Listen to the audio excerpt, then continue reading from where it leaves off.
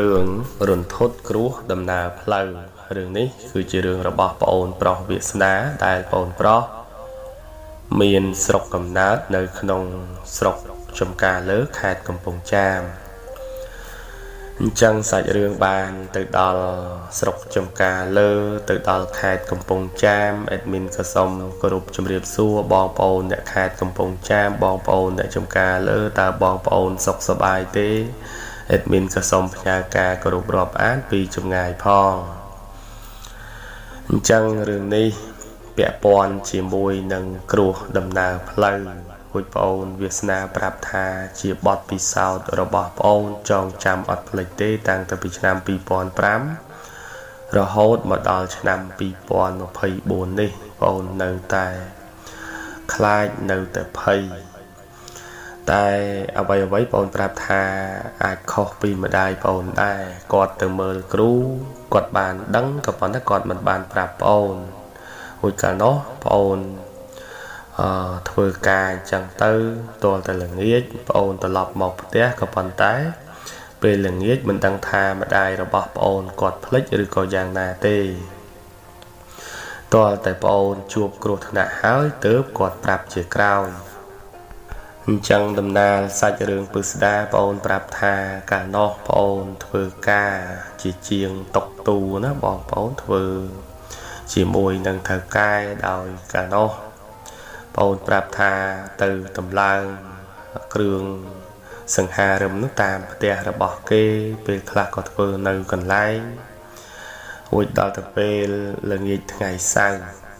មិត្តភ័ក្តិបម្រើការងារជាមួយគ្នាហ្នឹងគេបានហៅប្អូនឲ្យទៅលេងផ្ទះគេក្នុងនោះអ្នកធ្វើការជាមួយគ្នាទាំងអស់ហ្នឹងនាំគ្នាទៅដល់ផ្ទះមិត្តភ័ក្តិរួមការងារជាមួយគ្នាហ្នឹងគេកាប់មន់កាប់ទាឲ្យក្រុមជាងហ្នឹងបានហូបបានពិសានាំគ្នាពិសាគ្រឿងស្រវឹងហ្នឹងដាក់ ទៅដូចថាมันជាស្រវឹងប្រមាណទេបងអូន ប្រាប់ថាបងអូនគិតផ្ទះរបស់បងអូន ផ្លូវឆ្ងាយជាងគេហូចផ្លូវនោះក៏រៀងស្ងាត់ដែរអញ្ចឹងបងអូនមិនហ៊ានហូបស្រានឹងច្រើនទេរួចមិត្តភ័ក្តិរបស់បងអូននោះគេមកម៉ូតូមួយពីរនាក់ម៉ូតូមួយពីរនាក់អញ្ចឹងទៅគេនាំគ្នាហូបមកសបាយអញ្ចឹងទៅបងអូនក៏បានសបាយជាមួយគេ តែគេបង្ខំបងអូនចេះតែបកែកអញ្ចឹងទៅ រួចដល់ទៅពេលអង្គុយហូបស្រាជុំគ្នាប្រោកប្រាជ្ញពីនេះពីនោះថាទៅធ្វើនៅផ្ទះនេះម្ចាស់ហ្នឹងចិត្តមិនសូវបានទេសំបីតែទឹកហ្នឹងក៏គ្មានផឹកដែររួចទៅធ្វើនៅផ្ទះនោះម្ចាស់គេហ្នឹងចិត្តបានណាស់គេទិញភេសជ្ជៈឲ្យគ្រាន់តែទៅដល់ហ្នឹងក៏គេទិញឲ្យពេលត្រឡប់មកផ្ទះវិញហ្នឹងក៏គេទិញឲ្យ រួចបាននិយាយពីទឹកគឺมันខ្វះហូបទេតមគ្នាអួតគ្នាទៅវិញទៅមកអញ្ចឹងណាបងប្អូនស្រាប់តែនិយាយចុះនិយាយឡើងប្រោកប្រាជ្ញគ្នាហ្នឹងម៉ោងនោះវាជិត12ទៅហើយអញ្ចឹងបងប្អូនក៏បានលាមិត្តរួមការងារត្រឡប់មកផ្ទះមុនអញ្ចឹងទៅវិញមិត្តភ័ក្តិធ្វើការជាមួយគ្នានេះគេប្រាប់ថាផ្ទះឯងនៅឆ្ងាយ មិនចាំបាច់ទៅដេកផ្ទះទេដេកផ្ទះគ្នានឹងហើយពីព្រោះអីស្អែកឡើងត្រូវធ្វើការទៀតត្រូវទៅបង្ហើយលាបថ្នាំឬក៏បាញ់ថ្នាំទូឲ្យគេអញ្ចឹងគាត់ថាបងប្អូនក៏ដាក់ដោះបងអូនបានប្រកែកថាអត់ដេកទេពីព្រោះអីខោអាវនឹងវាអត់មានមកតែមួយចង្កេះឆ្អេះខ្លួនអញ្ចឹងมันអាចនៅបន្តដេកកន្លែងទាំងបាន បងអូនប្រាប់ថាត្រូវទៅទៅផ្ទះកុំឲ្យឪពុកម្ដាយរបស់គ្នានឹងស្ដីបន្ទោប្រាប់ទៅមិត្តភ័ក្តិបងអូនអញ្ចឹងម្ដាយឪពុករបស់គ្នាគាត់ពិបាកគាត់អត់ចង់ឲ្យកូននឹងដើរដាច់ជប់ទេបងប្រាប់អញ្ចឹងទោះបីជាយ៉ាងណាក៏ត្រូវទៅមកផ្ទះដែរអញ្ចឹងមិត្តភ័ក្តិរបស់ប្អូននឹងគ្នាមិនហ៊ានខាត់ទេបងប្អូនដែរឲ្យគ្នាថាឲ្យជិះប្រយ័ត្នប្រយែងអញ្ចឹងទៅប្អូនរៀបរាប់ថាប្អូនជិះនឹង ពីដំបូងគិតថា ប្រយ័ត្នអញ្ចឹងទៅក៏ប៉ុន្តែគ្រាន់តែថា គ្រឿងស្រវឹងនោះវានៅ ក្នុងខ្លួនវាធ្វើឲ្យហ៊ានវាធ្វើឲ្យចិត្តនៅវាក្លាហានអញ្ចឹងទៅបងអូនរៀបរាប់ថាជិះម៉ូតូចេញមកហ្នឹងមើលទៅកងតប្រហែលជាអឺ70គីឡូក្នុង1ម៉ោងអញ្ចឹងមកដល់ត្រង់ចំណុចផ្លូវកោងមួយផ្លូវហ្នឹងវារៀងកោងបងអូនហ្នឹងក៏បង្អង់ បប្រហែលជានៅ60គីឡូក្នុង1ម៉ោងស្រាប់តែរំពេចនោះប្អូនបានឃើញមនុស្សស្រី មានគ្នា3នាក់គេឈររៀងជាមុំចង្ក្រានគេឈរ3កន្លែងអញ្ចឹងទៅមើលទៅដូចជាមុំចង្ក្រានអញ្ចឹងប្អូនហ្នឹងក៏បង្អង់ម៉ូតូរួចដល់ទៅពេលបង្អង់ម៉ូតូហើយហ្នឹងមើលទៅថាមិនមែនជាមនុស្សទេសុទ្ធតែជាខ្មោច អញ្ចឹងពេលទៅដល់ចិត្តគេទៅហើយប្អូនមើលដឹងថាសុទ្ធតែជាខ្មោចប្អូនហ្នឹងក៏ប្រឹងជិះម៉ូតូឲ្យលឿនជិះដូចថាទម្លុះកន្លែងខ្មោចឈរហ្នឹងចេញពីកន្លែងហ្នឹងទៅក៏បង្ហោះទៅដល់ផ្ទះអញ្ចឹងខណៈនោះបងប្អូនណាយគ្រាន់តែប្អូនជិះម៉ូតូថារៀងលឿនបន្តិចកងតហ្នឹងប្រហែលជា60គីឡូឬក៏50គីឡូជាងនោះស្រាប់តែមកដល់កន្លែងខ្មោចខ្មោចហ្នឹងគេហក់ ឡើងជិះម៉ូតូរបស់ប្អូនពេលដែលប្អូនអជិះម៉ូតូដូចថាទន្ទឹមគេអញ្ចឹងទៅគេហក់ឡើងជិះហ្នឹងប្អូនដឹងគ្រាន់តែគេហក់មកប្អូនឃើញនៅចុងភ្នែកមិនហ៊ានងាកក៏ប៉ុន្តែម៉ូតូរបស់ប្អូននោះវាធ្ងន់រួចទៅហើយអញ្ចឹងគេហក់ជិះម៉ូតូធ្ងន់ប្អូនហ្នឹងកូរ៉េឬក៏ចង្កូតហ្នឹងគ្រប់គ្រងមិនបាន ម៉ូតូហ្នឹងក៏វាដួលបងប្អូនណាហើយប្អូនប្រាប់ថាដួលអញ្ចឹងទៅប្អូនហើយម៉ូតូហ្នឹងដួលអុសទៅជាមួយគ្នាចម្ងាយហ្នឹងប្រហែលជា3 4 5ម៉ែត្រដែរប្អូនប្រាប់ថាឆ្ងាយហូចម៉ូតូនោះវាកោះឆ្នន់ជាមួយផ្លូវនោះវាបែកភ្លើងវេលានោះបងអូនរៀបរាប់ថាបងអូនមិននឹក ថាមានជីវិតបានរស់នៅទេម៉ូតូកំពុងតែលឿនរួចដួលភ្លាមភ្លាមម៉ូតូបែកក្បាំងបែកក្បាលបែកអឺកន្លែងផ្សេងផ្សេងម៉ូតូពីចំហៀងអញ្ចឹងណាបងប្អូនចំហៀងខាងឆ្វេងអញ្ចឹងវេលានោះប្អូនក៏លេចមើលទៅម៉ូតូបែកផ្កាភ្លើងងាកមកមើលខ្មោចស្រី3នាក់ហ្នឹងបាត់ម្នាក់មិនដឹងទៅឯណាឃើញតែ2នាក់អញ្ចឹងណាកំពុងតែឈរសើច រួចដល់ទៅពេលគេឈរសើចអញ្ចឹងទៅប្អូនដឹងថាបាត់ម្នាក់មិនដឹងថាទៅឯណាប្អូនដួលម៉ូតូហើយហ្នឹងងាកទៅមើលម៉ូតូនៅច្រងាងលើផ្លូវអញ្ចឹងទៅរួចប្អូនធ្លាក់នៅចិញ្ចើមផ្លូវមើលទៅខ្មោចស្រីម្នាក់ទៀតហ្នឹងអត់ឃើញមិនដឹងទៅឯណារួចពីរនាក់នោះគេឈរសើចសំឡេងក្អាក់ក្អាយហ្នឹងបងអូនឮរួចបងអូនហ្នឹងក៏មិនបានខឹងខ្មោចទេភ្លាមភ្លាមនោះគិតទៅពីភ័យស្ទុះក្រោកឡើង លើកម៉ូតូហ្នឹងរួចហើយក៏ជិះបន្តទៅទៀតរួចជិះបន្តនោះចេះតែតលេខមើលក្រោយឃើញខ្មោចស្រីតែពីរនាក់រួចម្នាក់ទៀតមិនដឹងបាត់ទៅណារួចបងអូននោះក៏ជិះម៉ូតូដូចថាមិនហ៊ានលឿនទេក៏ប៉ុន្តែគ្រាន់តែថារាងកាយរបស់ប្អូនពេលនោះមិនទាន់ឈឺមិនទាន់ដឹងថាដាច់កន្លែងណាខ្លះទេដល់ទៅពេលជិះម៉ូតូមកចិត្តដល់ផ្ទះហើយនេះទើបប្អូនដឹងថា ប្អូនមានរបួសនៅក្បាលជង្គង់មានរបួសនៅកែងដៃមានរបួសនៅអឺសាច់ដុំ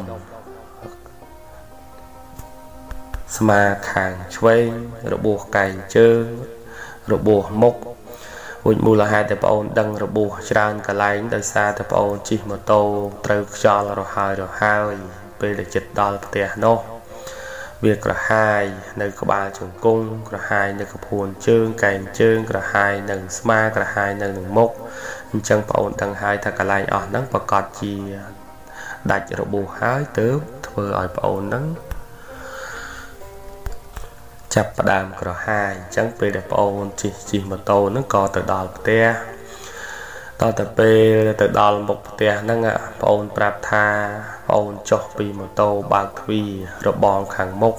ទើបដឹងថាជើងរបស់ប្អូនហ្នឹងចុកទាំងសងខាង ស្មារបស់ប្អូនហ្នឹងស្ទើរតែបែកឆ្អឹងមុខរបស់ប្អូនហ្នឹងកំពុងតែឈឺអញ្ចឹងទៅវេលានោះប្អូនបើកទ្វារហើយបណ្ដើម៉ូតូចូលផ្ទះបានត្រឹមតែថាផុតរបងប្អូនក៏ទុកម៉ូតូចោលរួចហើយនឹងដើរចូលទៅក្រោមផ្ទះដេកដួលនៅលើក្រែងចឹងទៅវេលានោះ ម្ដាយឪពុករបស់ប្អូននោះម៉ោង12ជាងគាត់ឮសំឡេងប្រព្រឹត្តប្រព្រោះអញ្ចឹងទៅគាត់ក៏សួរសួរថាអ្នកណាគេអញ្ចឹងទៅប្អូននេះណេះបំរុងនឹងឆ្លើយជាមួយម្ដាយដែរក៏ប៉ុន្តែអត់មានកម្លាំងឆ្លើយអញ្ចឹងក៏ប្អូនដូចថាបិទភ្នែកចងំដេកទៅទាំងឈឺចាប់គ្រប់កន្លែងអញ្ចឹងទៅវេលានោះម្ដាយឪពុករបស់ប្អូនហ្នឹងក៏ចុះមកមើលឃើញប្អូននេះកំពុងតែដេកស្ដោកស្ដឹងរួមទាំង ពេលដែលគាត់ទៅថាបើកភ្លើងអញ្ចឹងទៅគាត់ឃើញខោអាវដាច់រហែកឃើញលោហិតនឹងវាហូរប្រឡាក់អាវផងប្រឡាក់ខោផងអញ្ចឹងទៅគាត់ភ័យស្លន់ស្លោបងប្អូនណាយគាត់ស្មានថាប្អូននឹង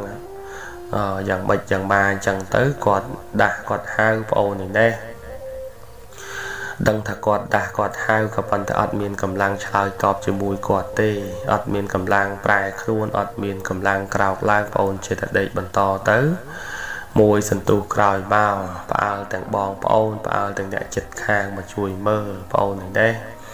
ពេលដែលគេមកមើលច្រើនពេកអញ្ចឹងទៅក៏ ឆ្លើយតបជាមួយគេឬបំរាស់កម្រើកដៃកម្រើកជើងអញ្ចឹងទៅរួចម្ដាយរបស់ប្អូនចិត្តសួរថាកូនឯងយ៉ាងម៉េចទៅហើយប្អូនប្រុសវាសនាប្រាប់ថាខ្ញុំអត់អីទេគ្រាន់តែខ្ញុំអស់កម្លាំងអញ្ចឹងវេលានោះបងប្អូនហើយគាត់បានយកអឺប្អូននឹងទៅពេទ្យឲ្យពេទ្យលាងរបួសឲ្យទៅដល់ផ្ទះពេទ្យនឹង គ្រូពេទ្យនឹងហៅតម្រាំទៅក្រោកនឹងប្អូនប្រាប់ថាចាំប្រហែលជា7 1ម៉ោងអញ្ចឹងពេលដែលទៅដល់ផ្ទះគ្រូពេទ្យណាគ្រូពេទ្យលាងរបួសឲ្យទាំងយប់អញ្ចឹងទៅប្អូននេះណែគ្មានកម្លាំងនឹងនិយាយតបតទេ គ្រូពេទ្យនឹងបានដាក់សេរ៉ូមឲ្យប្អូនហើយយកប្អូនត្រឡប់មកផ្ទះវិញគ្រាន់តែថាសេរ៉ូមចូលអស់ប្រហែលជាកន្លះដបនោះប្អូននឹងក៏មានកម្លាំង និយាយឆ្លើយឆ្លងជាមួយម្ដាយជាមួយឪពុកជាមួយបងជាមួយប្អូន សួរថាខ្លួនឯងដួលម៉ូតូកន្លែងណាពេលនោះប្អូនក៏រៀបរាប់តាមដំណើរទំនងប្អូនប្រាប់ថាពេលដែលជិះម៉ូតូចេញពីផ្ទះមិត្តភ័ក្តិហ្នឹងត្រឡប់មកផ្ទះម៉ោង7:12រួចពេលនោះម្ដាយរបស់ប្អូននឹងប្រាប់ថាចុះមិនក៏មិនដេកផ្ទះមិត្តភ័ក្តិហ្នឹងទៅរួចប្អូននឹងក៏ឆ្លើយតបជាមួយម្ដាយវិញថា ពេលដែលខ្ញុំដេកផ្ទះម៉ែចោតខ្ញុំថាខ្ញុំនឹងដើរដាច់យប់អត់ចូលផ្ទះឥឡូវនេះខ្ញុំយប់ស្មានណាក៏មកផ្ទះតាមសម្ដីរបស់ពុករបស់ម៉ែហើយអញ្ចឹងវេលានោះម្ដាយរបស់ប្អូននឹងក៏ប្រាប់ថាគាត់និយាយនេះគាត់និយាយតែនៅក្នុងភូមិចិត្តចិត្តគ្នានេះទេយប់ស្មានណាក៏ត្រូវតែមកផ្ទះតែបើផ្លូវឆ្ងាយអញ្ចឹងមិនចាំបាច់មកទេ យប់ជ្រុលអញ្ចឹងទៅដេកផ្ទះគេនឹងឲ្យរួចមកយប់ទៅព្រឹកឡើងហ្នឹងចាំធ្វើដំណើរមកផ្ទះអញ្ចឹងប្អូនក៏និយាយជាមួយម្ដាយថាម៉ែអើយហួសពេលហើយពីព្រោះអីថាដួលម៉ូតូហើយកំពុងតែឈឺចុកចាប់ណោះអញ្ចឹងបងរបស់ប្អូនក៏ដូចជាឪពុករបស់ប្អូនសួរថាដួលកន្លែងណាប្អូនប្រាប់ថាកន្លែងផ្លូវកោងចេញពីផ្ទះមិត្តភ័ក្តិហ្នឹងបានប្រហែលជា 20នាទីហ្នឹងក៏ចាប់ផ្ដើមឃើញរឿងរន្ធត់រួចរឿងរន្ធត់នឹងយ៉ាងម៉េចពេលដែលខ្ញុំជិះមកដល់ផ្លូវកោងស្រាប់តែខ្ញុំឃើញខ្មោចស្រីហ្នឹងគេឈរគ្នា3នាក់ដូចជាមុំចង្ក្រានខ្ញុំជិះម៉ូតូទៅដល់ចិត្តខ្ញុំដឹងថាមិនមែនមនុស្សហើយពីព្រោះអីយប់ថ្មនឹងហើយរឿងអីបានជាមានមនុស្សស្រីមកឈររញ៉េរញ៉ៃតាមផ្លូវនោះ អញ្ចឹងមានតែខ្មោចពេលដែលខ្ញុំបង្អង់ម៉ូតូខ្ញុំដឹងថាខ្មោចហើយមកដល់ទៀតខ្ញុំក៏មួលម៉ូតូហ្នឹងឲ្យលឿនអញ្ចឹងទៅដោយសារតែខ្ញុំភ័យខ្ញុំខ្លាចស្រាប់តែទៅដល់កន្លែងមនុស្សស្រីដែលឈរចុងក្រោយគេនោះនាងស្រីហ្នឹងក៏ហក់ជិះម៉ូតូខ្ញុំហក់ជិះម៉ូតូខ្ញុំមិនមែនតែខ្ញុំមិនដឹងទេខ្ញុំដឹងគ្រាន់តែគេហក់មកខ្ញុំឃើញចុងភ្នែកម៉ូតូរបស់ខ្ញុំវារៀងធ្ងន់ហើយអញ្ចឹងខ្ញុំមិនអាចគ្រប់គ្រង ដៃចង្កូតបានខ្ញុំក៏ដួលទៅរួចដួលហ្នឹងអូសប្រហែលជា4 5ម៉ែត្រម៉ូតូបែកផ្កាភ្លើងអីអញ្ចឹងទៅរួចខ្ញុំឃើញខ្មោចស្រីហ្នឹងម្នាក់ដែលហក់ជិះម៉ូតូនោះអត់ឃើញទេខ្ញុំឃើញតែពីរនាក់នោះរួចពីរនាក់នោះគេសើចក្អាកក្អាយសបាយពេលដែលឃើញខ្ញុំដួលម៉ូតូអញ្ចឹងប្អូនរៀបរាប់តាមដំណើរតំណងនឹងហើយបដាយរបស់ប្អូននេះដែរ គាត់ដូចថាគក់ដើមទ្រូងរបស់គាត់ឬដើមទ្រូងរបស់គាត់ថាគាត់ផ្លេចគាត់សុំទោសប្អូនប្រុសវាសនា ថាគាត់ផ្លេចកូនអើយគាត់បានទៅរកគ្រូមើលមើលពីកូនទាំងអស់គ្នាកូនណាខ្លះដូចថាអឺឲ្យលុយគេខ្ចីអញ្ចឹងគេមិនឲ្យវិញរួចខ្លះទៀតទៅឲ្យប្រយ័ត្នដំណើររួចខ្លះទៀតទៅរោគទទួលទានហ្នឹងមិនសូវបានឲ្យ ម្ដាយឪពុកស្រោចទឹកអីទៅអញ្ចឹងទៅក៏ប៉ុន្តែគាត់ភ្លេចមិនទាន់បានធ្វើឲ្យកូនណាទាំងអស់ហើយក៏មិនទាន់បាននិយាយប្រាប់កូនទាំងអស់គ្នាដែរអញ្ចឹងវេលានោះម្ដាយរបស់ប្អូនក៏រៀបរាប់ថាកូនឯងនឹងហើយ គ្រូទាយមើលទៅថាឲ្យប្រយ័ត្នអឺដំណើរផ្លូវក៏ប៉ុន្តែម្ដាយហ្នឹងគាត់ភ្លេចអញ្ចឹងទៅគាត់ក៏បានសុំទោសប្អូនក៏ប៉ុន្តែប្អូនប្រាប់ថាមិនអីទេរឿ ងនោះវាហួសហើយអញ្ចឹងឲ្យវាហួសទៅចោះរួចពេលនោះគាត់ក៏បាននិយាយប្រាប់កូនកូនចឹងទៅរួចកូនកូនទាំងអស់គ្នាហ្នឹងគាត់ប្រាប់ថាម៉ែអើយមិនគួរណាម៉ែឯងភ្លេចទេចុះបើសិនជាអឺអាអូនយ៉ាងម៉េចទៅនោះมันបាត់បង់ជីវិតអីចេះចុះបងអូនប្រាប់ថាមិនអីទេកុំបន្ទោសគាត់ដោយសារតែគាត់ចាស់គាត់ភ្លេចភ្លាំងចឹងណា អញ្ចឹងបងអូនរៀបរាប់ថាមួយយប់ហ្នឹងបងអូនឈឺខ្លះមិនឈឺខ្លះពេលដែលអស់ជាតិថ្នាំចឹងទៅឈឺវិញរួចប្អូនត្រូវក្រោកឡើងហូបថ្នាំហូបថ្នាំទៅក៏បានរៀងធូរព្រឹកឡើងម្ដាយរបស់ប្អូនឪពុករបស់ប្អូននឹងបានយកទៅជួបគ្រូដែលគាត់បានទុះទាយមើលថាឲ្យប្អូននឹងប្រយ័ត្នដំណើរផ្លូវពេលនោះទៅដល់ផ្ទះគ្រូ រៀបរាប់សាច់រឿងនឹងប្រាប់ទៅគ្រូអញ្ចឹងទៅលោកតាគ្រូនឹងប្រាប់ថាគាត់បាននិយាយហើយតើឲ្យប្រយ័ត្នដំណើរផ្លូវហេតុអីក៏មិនប្រាប់កូនផងវិញម្ដាយរបស់ប្អូននឹងប្រាប់ថាគាត់ភ្លេចរួចលោកគ្រូនឹងក៏បាននិយាយថាមកមើលដឹងហើយហេតុអីក៏ត្រូវភ្លេចនេះសំណាងហើយដែលមានអឺគ្រូសនំសង្វាហ្នឹងជួយតាមថែរក្សាជួយរាំងរេបើសិនជា มันមានគ្រូសនំសង្វាជួយការពារជួយបិទបាំងទេកូននេះប្រហែលជាអាចមានគ្រោះដល់ជីវិតឯណោះនេះបានត្រឹមតែដាច់រលាត់បន្តិចបន្តួចហូបថ្នាំក្រមហូបថ្នាំសរសៃអីចឹងទៅវាអាចនឹងឆាប់ជាមកវិញរួចគាត់ក៏បានស្រោចទឹករំដោះគ្រោះឲ្យប្អូនប្រុសវាសនាគាត់ថាគ្រោះទី2ហ្នឹង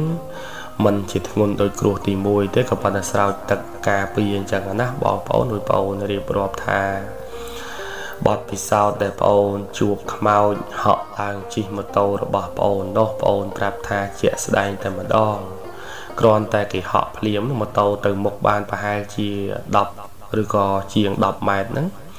ម៉ូតូនោះក៏ចាប់ផ្ដើមគ្រប់គ្រងចង្កូតលេងបានគ្រប់គ្រងដៃម៉ូតូលេងបានណាកាច់ទៅនេះម៉ូតូទៅឯនោះ កាច់ទៅនោះម៉ូតូមកនេះអញ្ចឹងទៅក៏ម៉ូតូនឹងដួលមិនដឹងថាគេធ្វើឲ្យដួលឬក៏យ៉ាងម៉េចទេតែប្អូនថាគ្រប់គ្រងស្មារតីអត់បានអញ្ចឹងទៅឬក៏បញ្ជាដៃម៉ូតូអត់បានម៉ូតូនឹងក៏ដួលអញ្ចឹងបងអូនក៏បានចែករំលែកសាច់រឿងពាក់ព័ន្ធជាមួយនឹងគ្រោះដំណើរផ្លូវឲ្យបងប្អូនទាំងអស់គ្នានឹងបើសិនជាមាន លោកតា មានលោកគ្រូ មានលោកយាយគ្រូ ដែលគាត់ព្យាករឲ្យប្រយ័ត្នដំណើរផ្លូវហ្នឹងគឺត្រូវតែប្រយ័ត្នអអេដមីនក៏ធ្លាប់មានគ្រោះថ្នាក់ដែរពេលដែលតាម្នាក់គាត់ព្យាករថាឲ្យអេដមីនហ្នឹងប្រយ័ត្នដំណើរផ្លូវព្រោះអេដមីនហ្នឹងអឺស្ដាប់តាមគាត់ដែរជិះប្រយ័ត្នក៏ប៉ុន្តែគាត់ប្រាប់ថាឲ្យសូត្រមុនផងសូត្រមុនហ្នឹងគាត់រើសថ្ងៃឲ្យសូត្រថាសូត្រចំថ្ងៃអាទិត្យ រួច admin ហ្នឹងថ្ងៃអាទិត្យហ្នឹងនិយាយឲ្យត្រង់ទៅថាវាអត់មានលុយដល់ទៅពេលมันមានលុយมันមានបច្ច័យអញ្ចឹងទៅក៏ទ្រាំចាំថាអាទិត្យក្រោយក៏ប៉ុន្តែ គ្រោះថ្នាក់នោះមិនចាំអាទិត្យក្រោយទេបងប្អូនណាគ្រាន់តែថ្ងៃអាទិត្យมันបានសូត្រមុនថ្ងៃច័ន្ទ admin គ្រោះថ្នាក់អឺជិះម៉ូតូបុកឆ្កែបុកឆ្កែដែលវារត់ឆ្លងផ្លូវណាអឺទៅដេកពេទ្យកន្លះខែជើងហ្នឹង ប្រហែលជាចិត្តមួយខែទើបដើររួចវាបាត់សាច់នៅកន្លែងត្រង់ក្បាលជង្គង់នោះអស់មួយដុំដោយសារតែយើងជួបគ្រោះថ្នាក់មិនដឹងថាកោះជាមួយថ្មឬក៏ត្រូវជាមួយអីទេ បាត់សាច់អស់មួយដុំគ្រូពេទ្យហ្នឹងក៏គាត់ដេផ្ចិតឲ្យវិញដល់តែពេលដេផ្ចិតឲ្យអញ្ចឹងវាតឹងស្បែកតឹងសរសៃអញ្ចឹងទៅมันអាចដើរត្រង់ជើងបានក៏ដេកនៅលើក្រែហ្នឹងប្រហែលជាចិត្តមួយខែនោះ ទើបអាចដើរបានក៏ប៉ុន្តែដើរនោះដើរមិនហ៊ានឲ្យត្រង់ជើងទេតម្រាំតែសាច់នោះវាអាចភ្ជាប់គ្នាចិត្តមកវិញបាននោះវាយូរខែដែរបងប្អូនណាអញ្ចឹងពាក់ព័ន្ធជាមួយគ្រោះដំណើរផ្លូវ admin ក៏ធ្លាប់ឆ្លងកាត់បងអូនប្រុសវាសនាក៏ធ្លាប់ឆ្លងកាត់រួចបងប្អូនដែលកំពុងតែស្ដាប់នោះប្រហែលជាធ្លាប់ឆ្លងកាត់ដូចគ្នាអញ្ចឹងពេលដែលលោកគ្រូ អ្នកគ្រូលោកយាយលោកតាណាគាត់មានបារមីគាត់បានចេះដឹងផ្នែកផ្លូវងងឹតបើគាត់ព្យាករបើគាត់មើលថាប្រយ័ត្នគ្រោះដំណើរផ្លូវតើតែបងប្អូនប្រយ័ត្នគ្រោះរួចបើសិនជាគាត់ប្រាប់ថាឲ្យសោតមុនរំដោះគ្រោះបងប្អូនត្រូវទៅសោតពីព្រោះអីថាគាត់មើលឃើញគាត់មានបារមីផ្លូវក្នុងរបស់គាត់មើលឃើញអញ្ចឹងទៅទៅគាត់ប្រាប់ មិនមែនថានៅសុកសុកគាត់ចេះតែនិយាយឲ្យកូនចៅនឹងខាត់បងប្រយោជន៍ទេអញ្ចឹងខាងចុងនៃវីដេអូ admin ក៏សូមជម្រាបជូនបងប្អូនថាមួយរយៈនេះ មានបងប្អូនគាត់បានទៅព្យាករកន្លែងលោកយាយឬក៏គាត់មើលតាមទូរស័ព្ទបងប្អូនគាត់នៅបារាំងគាត់នៅកូរ៉េគាត់នៅថៃបងប្អូនគាត់នៅអាមេរិកនៅ ប្រទេសផ្សេងផ្សេងទៀតគាត់បានព្យាករជាមួយលោកយាយនឹងតាម Telegram តាម Messenger របស់ admin ហ្នឹងហូចគាត់តែងតែសរសើរតែងតែនិយាយថាលោកយាយគាត់ទោះទេដូចមើលឃើញឬក៏ប្អូនខ្លះនោះគាត់ប្រាប់ថាលោកយាយដូចជានៅជាមួយខ្ញុំអញ្ចឹងហូចបងប្អូនខ្លះប្រហែលជា ចង់ដឹងថាលោកយាយដែល admin ណែនាំឲ្យបងប្អូន បានមើលបានដឹងនោះ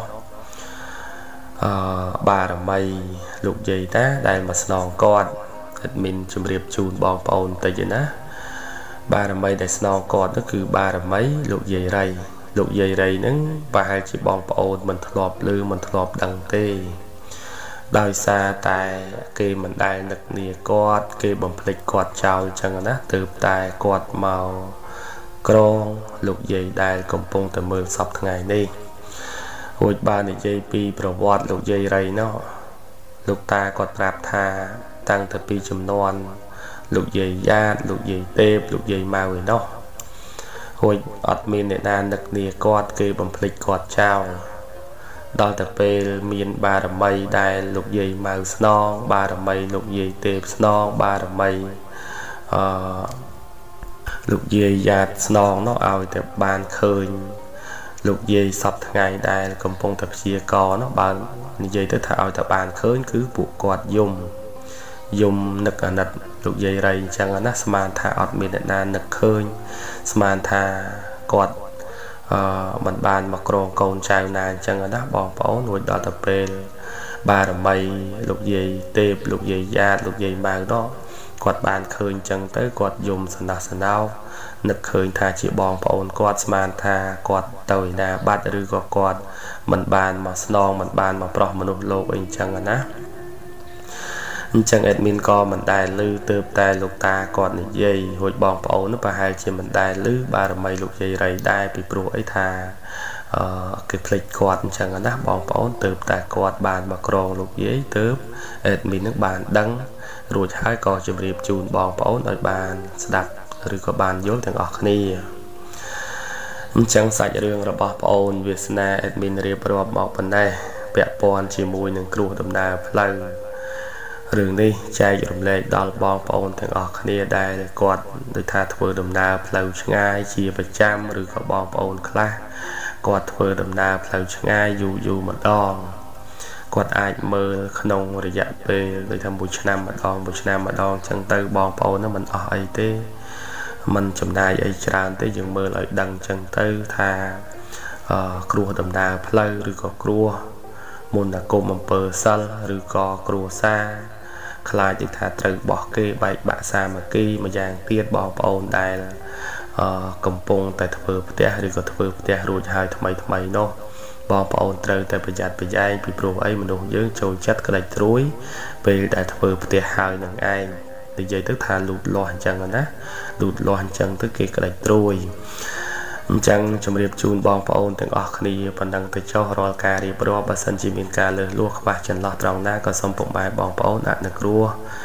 និងបងអូនប្រុសវាសនាអភ័យទោសឲ្យ admin ផងជាចុងក្រោយសូមអរគុណសូមជម្រាបលា